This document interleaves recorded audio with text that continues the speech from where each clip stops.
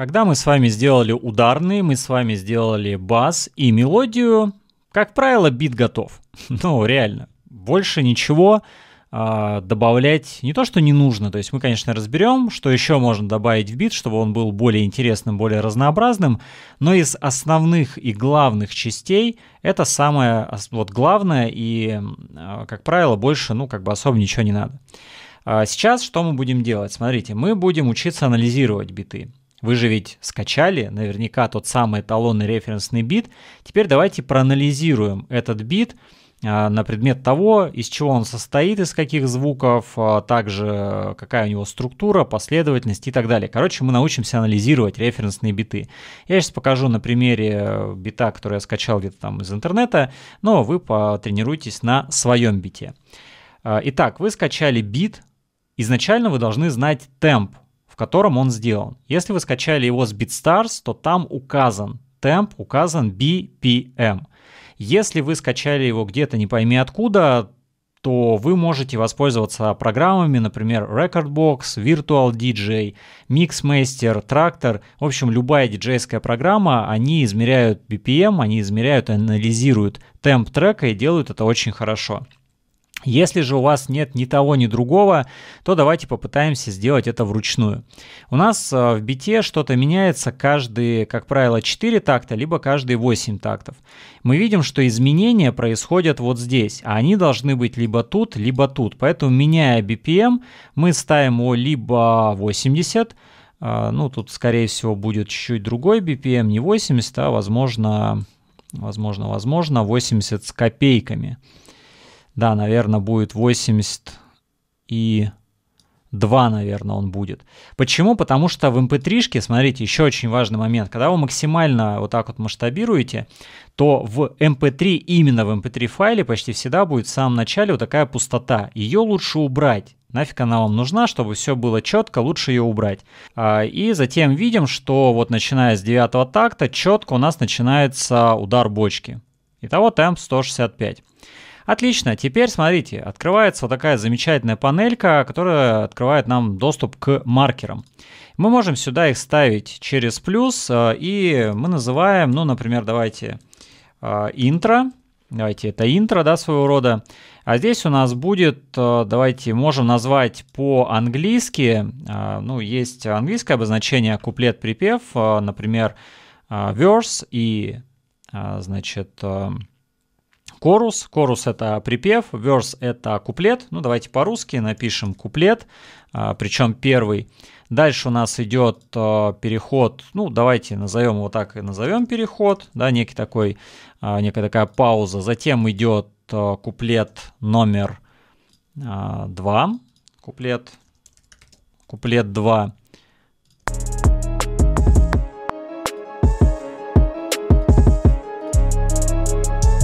Затем опять некий такой переход, ну, условно там провал, можно назвать его яма, как еще нередко называют яма, либо брейк. И дальше у нас идет, э, пускай, ну здесь даже не куплет, а можно припев назвать. Короче, то, как мы называем здесь, на самом деле это не принципиально важно. То есть вы можете назвать часть 1, часть 2, там дроп 1, дроп 2. Это не так важно. То есть главное, чтобы вы просто понимали, по какому принципу строятся вообще биты и структура бита. Теперь давайте проанализируем, то есть мы структуру проанализировали, да, мы видим, какая она здесь есть, э, и это очень важно при создании вашего бита. Потому что то, что вы сейчас сделали, это бит, который длится, ну, скорее всего, 8 тактов. И по длительности, ну, это будет там совсем чуть-чуть. Здесь, если вы выберете кастомные вариант отображения, то вы можете видеть, сколько секунд и минут длится ваш трек. Вот этот конкретно бит, он длится 2 минуты 54 секунды. Ну, как правило, так и есть. Биты, они длятся где-то от 2 до 3 минут, реже больше. И нам нужно тоже сделать бит на несколько минут. Как мы это можем сделать? Мы просто берем все наши э, паттерны, все наши там аудиодорожки, которые мы сделали, и раскидываем их вот так вот на несколько минут. Но это гораздо проще сделать, когда у вас есть какая-то хотя бы структура. То есть, когда вы проанализируете свой эталонный референсный трек, вы можете запомнить эту структуру, и вы можете ее поменять. Например, я бы мог сюда, вот, вот сюда добавить еще одну яму. Почему? Потому что мне кажется, что слишком долго здесь играет бочка. Я хочу, чтобы слушатель как бы немного отдохнул. И я сюда мог бы вставить яму. А вот эту часть я, может, вообще бы нафиг укоротил бы. И так далее. То есть, понимаете, да, вы можете взять за основу э, структуру вашего референсного бита и немного ее поменять. Это, опять же, не является каким-то плагиатом. Это нужно нам для обучения. Окей. Доступ ко всем курсам школы Logic Pro Help всего за 990 рублей в месяц. Да, это реально. На нашем бусте вы можете выбрать интересующий вас тариф и смотреть огромнейшее количество курсов по Logic Pro и о работе со звуком, а самое главное получать эксклюзивные новинки и уникальные видеоматериалы раньше остальных.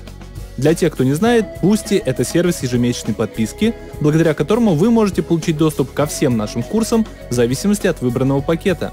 Просто выберите интересующую вас тему и получите доступ ко всем курсам этой категории всего за 990 рублей в месяц. Сейчас я покажу, как оформить подписку. Выбираем интересующий нас пакет, нажимаем кнопку «Купить», попадаем на нашу страницу Boosty и там нажимаем «Подписаться». Далее проходим регистрацию по номеру телефона или через любую социальную сеть, после чего выбираем количество месяцев для подписки и нажимаем «Купить». После этого вводим данные карты и готово. Можно переходить к обучению в ту же минуту. И помните, что в каждом пакете количество курсов будет регулярно пополняться. Получи все необходимые знания для создания качественной музыки прямо сегодня по самой выгодной цене. Дальше что еще можем анализировать? Мы можем анализировать, а какие вообще звуки есть э, в референсном бите. Давайте послушаем вот этот бит.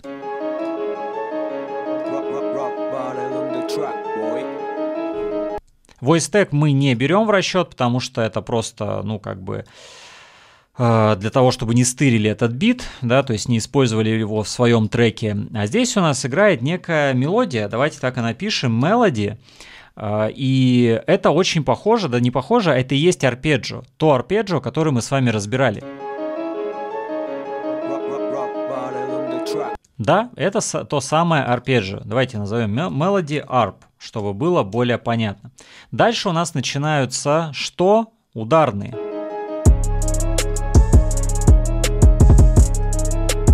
Какие здесь у нас ударные? Ну, естественно, здесь у нас имеется бочка, имеется хай-хеты.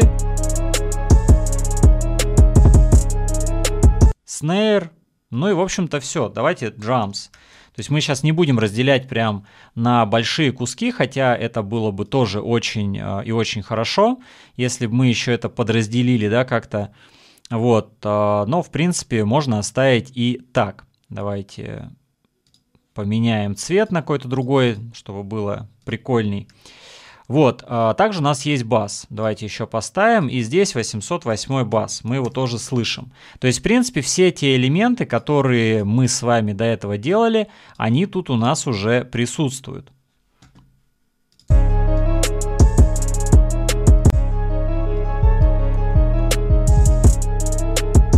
Все, что здесь происходит, это местами убирается бочка, Да, то есть в целом мы отсюда убираем ударные. Мы можем даже взять и вот так вот, например, это отметить при разборе бита, чтобы понимать, а как это вообще все работает. Здесь, обратите внимание, продолжает звучать э, наш вот этот вот э, инструментальная, наша инструментальная мелодия, а здесь у нас звучит что? Только хай-хет. Давайте даже переименуем, что здесь у нас только хай-хеты.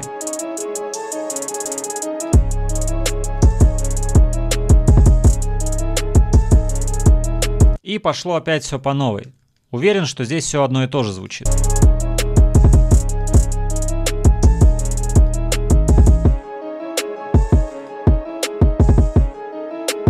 Обратите внимание, что здесь у нас звучат, а, значит, только, давайте тоже переименуем, кик а, плюс снейр. Ну, там еще есть дополнительный, да, какой-то хай-хет такой, а, open hi-hat, но вот этот основной он исчезает, и исчезает 808 бас.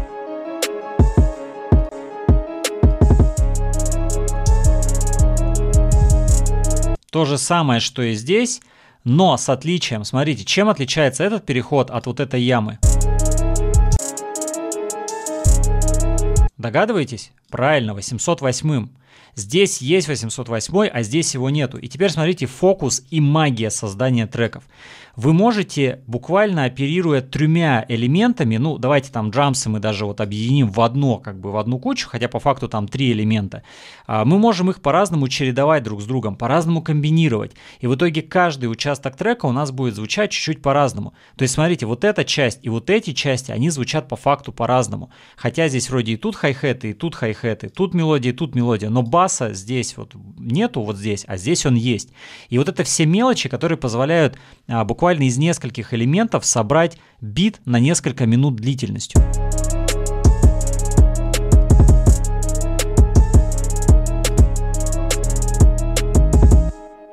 Там есть еще такой как бы voice какой-то. Вот такие вот звуки. Это, скорее всего, пэды, то есть а, тип мелодии пэды, который мы с вами тоже рассматривали. То есть, смотрите, что мы получили? Мы буквально за какие-то считанные минуты проанализировали эталонный бит. Да, этот бит довольно простенький, но я уверен, что тот бит, который вы взяли, он тоже очень простой. Проанализируйте его максимально детально, насколько это возможно. А, напишите мелодии, напишите, отличаются ли мелодии. То есть нередко бывает, что в бите в начале играет одна мелодия, а, например, в этой э, части может играть какая-то другая мелодия. Возьмите, переименуйте ее, дайте ей другой цвет. Нередко бывает так, что они как-то чередуются друг с другом и так далее. То есть это тоже очень часто применяется в различных битах. Также напишите более подробно ударные. Ну, можно, в принципе, как и я сейчас сделал, а лучше отдельно бочку, снейры, хай-хеты отдельно там крэши и все остальные звуки. Если вы это сделаете, поверьте, это у вас ну, займет буквально минут там 10-15 времени, но у вас будет глубокое понимание того, как создаются крутые классные биты, которые вам нравятся. И все, что вам необходимо, это просто взять ваши аудиодорожки, ваши MIDI-клипы, ваши мелодии и раскидать их ну, по аналогии, не точно так же, как в референсе, а по аналогии с референсом. Вот и все. Поэтому проведите такой анализ а, референсного бита, а затем возьмите те аудиодорожки и те MIDI-клипы, которые у вас есть, и раскидайте их на несколько минут, чтобы у вас получился полностью готовый бит. И очень желательно поработайте с этими маркеры, маркерами. Это тоже будет очень-очень полезно.